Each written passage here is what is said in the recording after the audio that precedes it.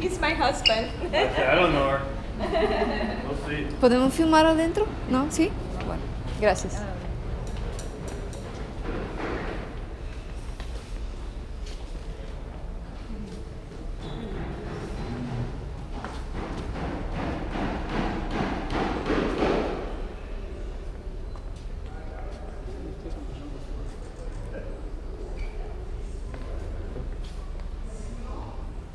assim aqui, ó.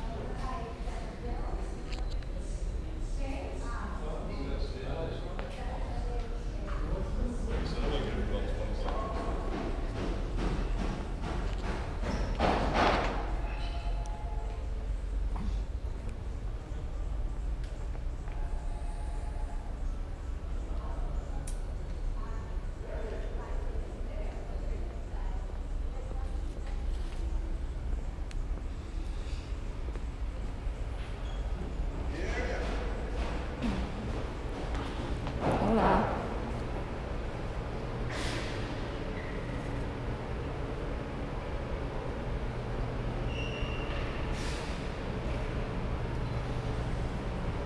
now, we are inside St. Peter Claver Church.